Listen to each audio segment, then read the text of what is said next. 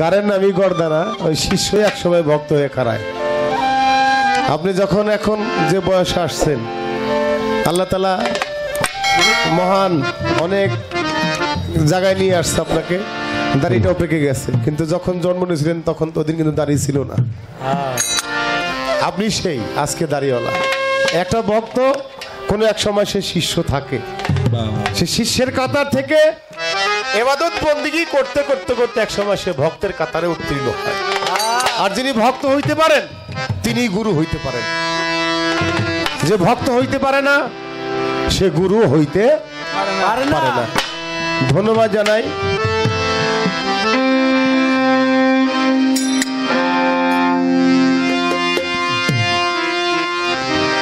একটা মিউজিক বাজায় ছোট্ট করে।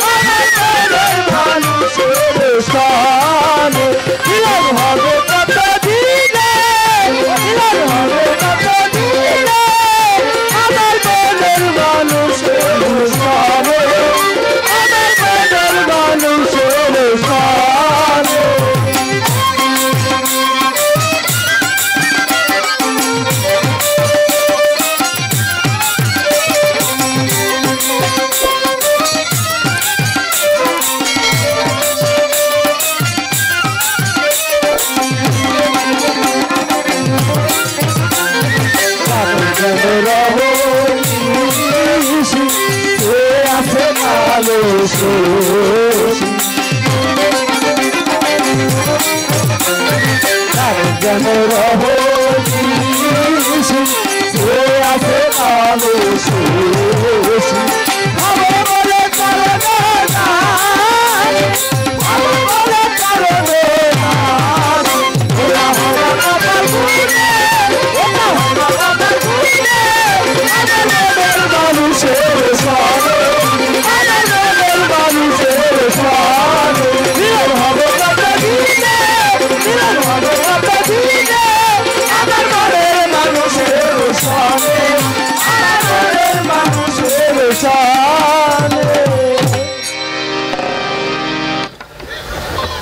মিলন হবে কত দিনে আমার মনের মানুষের সঙ্গে মনের মানুষটাকেই খুঁজে বেড়ায়।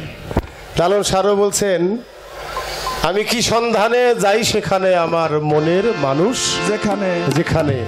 আধার ঘরে জ্বলছে বাতি দিবারাতি। নাই সেখানে। নাই সেখানে আমার মনের মানুষ। যেখানে। যেখানে। আমাদের একটা পাগলা বয়াতি আছে অসীম বাউল। হ্যাঁ তার দু একটা কথা একটু পাগলা পাগলা ধরনের আছে নাকি? বাংলাদেশে কিছু বয়াতি আমাদের আছে, একটু পাগলামি করে কথা কয়। হ্যাঁ পাগলামি করে কথা কর কারণ আবার তাদের বিরুদ্ধে একটু আইনি ব্যবস্থা হয়ে যায়, নাকি বাবা? তো বিষয়টা হলো কি, গুরু এবং শিষ্যের যে আলাপ আলোচনা, গুরু আর ভক্তের আলোচনা, দুইটা কিন্তু এক না। একটা ভক্ত মুড়িদ হয়েছে, চল্লিশ বছর হয়েছে, আর একটা ভক্ত আজকে কেবল মুড়িদ হইল। চল্লিশ বছর আগে যে মুড়িদ হয়েছে, তার লগে গুরু যে কথা কইব আজকে যে মুড়িদ হয়েছে তার সাথে কিন্তু গুরু ওই কথাটা বলবে। না। কারণ তার সাথে এরকম স্ত্রীমিল করা হয় নাই প্রেম করা হয় নাই তাকে তৈরি করা হয় নাই। এই জন্যে আমার যার সাথে গান পালাটা হলো গুরু এবং ভক্ত। হ্যাঁ, মূলত ভক্তের ভূমিকাটা আগে থাকে নাকি বাবা? হ্যাঁ, ভক্ত আগে দাঁড়াবে প্রশ্ন করবে গুরু একটা সাবজেক্ট নিয়ে আলোচনা করবে। আলোচনা শুরু করবে। কিন্তু আজকে জিনিসটা উল্টো হয়ে গেছে গা। এমনি উল্টা মাঝে মাঝেই হয় আর কি এটা কিছু করার নাই। এখন আমার দাঁড়াইয়া কি কইতে বাবা দুইটা গান ছাড়া তো কোনো উপায় নাই নাকি? তো দুইটা গান গেয়ে বসে পড়ব। হ্যাঁ তারপরে মাতা গুরু পিতা গুরু গুরু জ্যেষ্ঠ ভাই তার চাইতে অধিক গুরু আমি ভজন পথে পাই। আমার বাবা গুরু বাবাও গুরু বড় ভাইও গুরু যার কাছে আমি মুড়িদ হইলাম তিনি আমার পরম গুরু। যার কাছে গান শিখছি তিনি আমার গানের গুরু। যার কাছে বেহালা বাজনা শিখছি তিনি আমার বেহালার গুরু। অর্থাৎ যদি কোনো ব্যক্তি এলেম কালেম শিক্ষা করতে চায় তাহলে গুরু ছাড়া কোনো গতি নাই। আল্লাহ যেরকম সর্ব জায়গায় বিরাজমান তদ্রূপ গুরু সর্ব জায়গায় বিরাজমান। একটা গান আমি গাই। একটা গান শুনছি অনেক সুন্দর গান। আমাদের সাজান সাজুর লেখা দয়াল নবী। দয়ার নবী মায়ার নবী। তাই না বাবা গানটা? হ্যাঁ, আপনি স্বপ্নে দেখা দেন আসিয়া। তো বেশ ভালো গান। নবীজির নামে যে যাই কিছু লেখুক বলো ওইটাই ভালো নাকি বাবা? নবীর নামে প্রশংসা যে যেভাবে পারে সে সেভাবেই করুক। কিন্তু একটা কথা আছে একবার যদি আসেন বাসেন কই আবার যদি তুমি আমি কই একটু বেমানা নয় না বাবা? এক জায়গায় গানের মধ্যে আছে আসেন বাসেন। আপনি দেখা দেন আসিয়া। আবার গানের শেষে সাজা সাজু কয় তুমি দেখা দাও মুর্শি রূপ ধরিয়া। যারা আপনি আসেন বাসন কর আবার পট করি তাহলে তুমি আমি কোন কারণটা কি? নাকি? কয়ে যাবেন আজকে। কয়ে যাবেন। এই গান থেকে এলো আপনার কাছে আমার এই কথাটাকে। লেখক কি গানটা এইভাবেই লেখছে? না আমরা আসলে আমাকে মন মতোই গাই কোনটা? এখন একটা গান করব বাবা। কোন গান যে গামো চিন্তা করতেছি। তারপরে একটা গান গুরু পাঠ থেকে গাইতে হবে।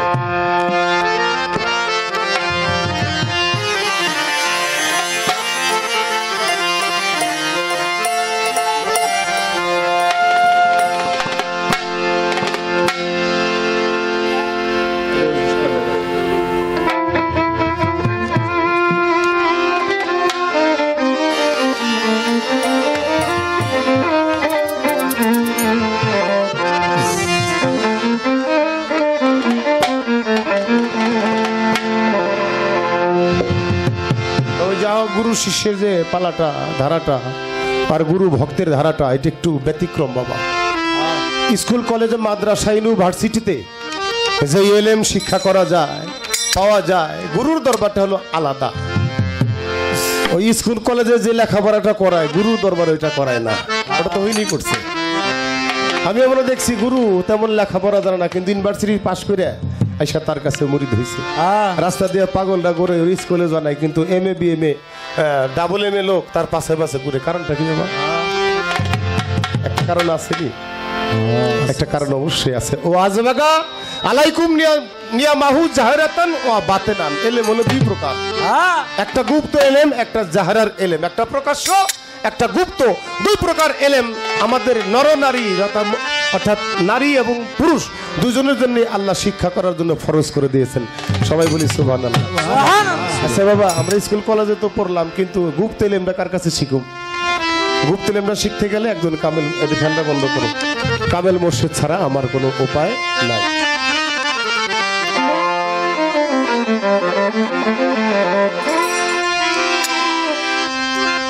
ওরে ভাষা ভাষা মুখস্থ জ্ঞানে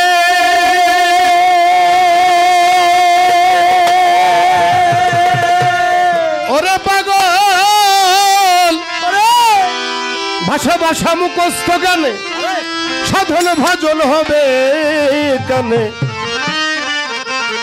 ওরে বস্তুনিষ্ঠ, বাস্তবের দরকার পাগল মন আমার। সাধন ভজন কঠিন এক ব্যাপার। সাধন ভজন কঠিন এক ব্যাপার, এটা মুখের কথা। না, যদি মুখের কথা হয়তো সহজ হইতো, তাহলে সবাই সাধন ভজন করে আল্লাহর অলি হয়ে যেত। এর মধ্যে কোনো রকম দ্বিধাদ্বন্দ্ব ছিল না। এই জন্য সাধন ভজন অনেক কঠিন এক ব্যাপার। এই ব্যাপার সবাই এখানে উত্তীর্ণ হইতে পারে না।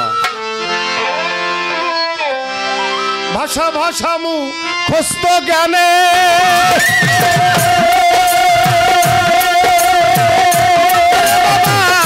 ভাষা ভাষা মু খস্ত জ্ঞানে। সাধন ভাজন হবে বস্তুনিষ্ঠ বাস্তবে দরকার বাজান বস্তুনিষ্ঠ বাস্তবে দরকার বাদল বলা সাধন ভাজন করি না বাবা ওরে সাধন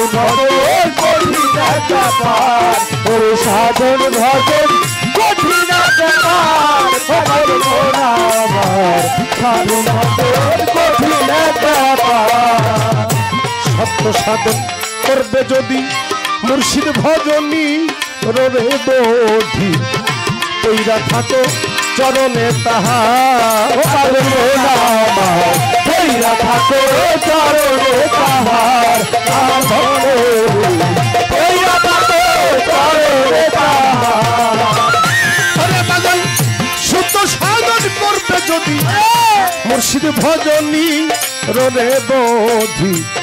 তৈরা থাকো চরণে তাহার। ও পাগল থাকো চরণে তাহার। থাকো চরণে পাহাড়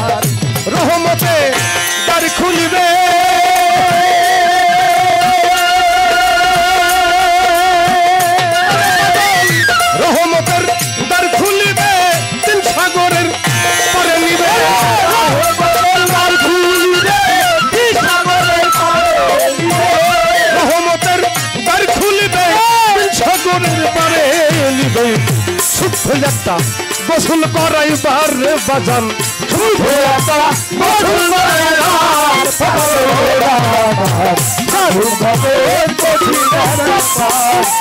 সাধুর ভজন কঠিন পাগল মোনা সাধুর ভজন কঠিন শুদ্ধ গোসল যখন হবে ওরে বাজান পাঞ্জাতনের করণ দিবে।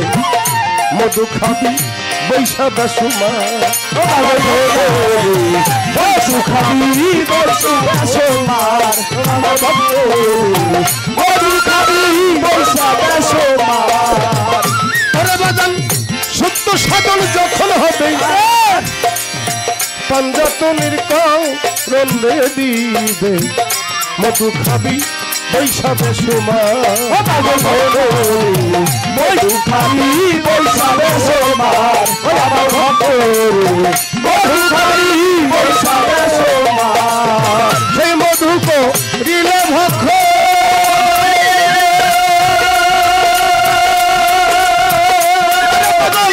সেই মধু করিলে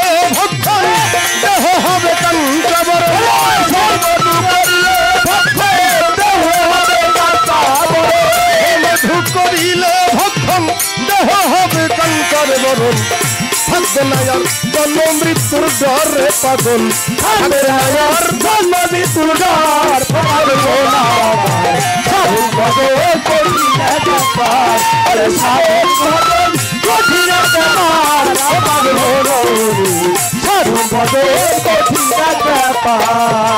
পীরের কাছে মন্ত্র নিও। আল্লাহকে ধন কর জোরে দিও। কোরআনেতে বলছে কয়েকবার।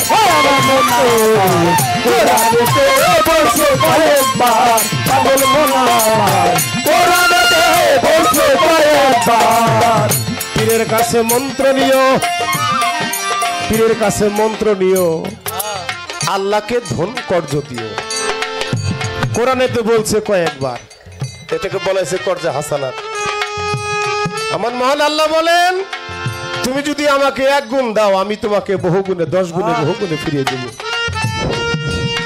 আচ্ছা বাবারা আমরা যে জমির মধ্যে ফসল বুনি বীজ বুনি এক মুঠ ধান যদি কোনো জমির মধ্যে আমরা ছিটাই বা দুই কেজি পাঁচ কেজি ধান আমরা ছিটাই কাটপা গেলে দুই কেজি পাবো না দুই মন পাবো?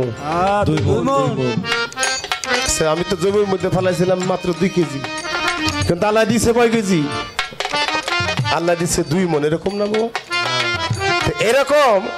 কর্জে হাসানাতের কথা বলেছেন, আল্লাহ বলছেন, তোমরা আমাকে এক গুণ দিলে, আমি তোমাকে বহু গুণে ফিরিয়ে দিব। এই যে কথাটা, এটা কিন্তু কোরআনেরই কথা। কিন্তু এরকম মাইক দিয়ে ভেঙ্গে সেটা সবার বোঝানো যাবে না। কিন্তু ইশারা ইঙ্গিতে বুঝে নিতে হবে। হ্যাঁ। পীরের কাছে মন্ত্র নিও, আল্লাহকে ধনকর জোরে দিও। কোরআনেতে বলছে কয়েকবার পাগল না আমার, কোরআনেতে বলছে কয়েকবার, পাগল না আমার, কোরআনেতে বলছে কয়েকবার। উত্তম ঋণ ঘুরাইয়া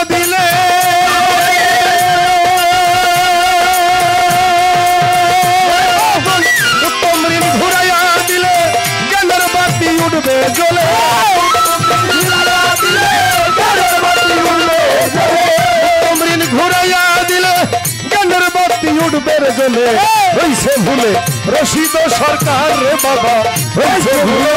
রশিদ সরকার।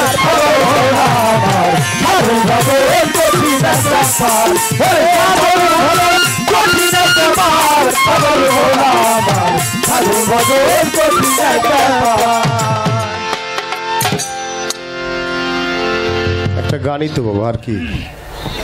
কারণ আমার কাছে তার কিছু চাওয়া পাওয়া নাই। আপাতত নাই। এটা ঠিক করে দাও বাবা। এটা এমনি থাকব, যখন আমার মন চাই লাগাম আবার যখন মন চাই আমি খুলে নেব হ্যাঁ?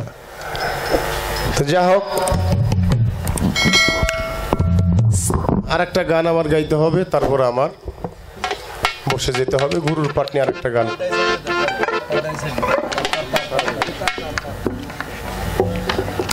Thank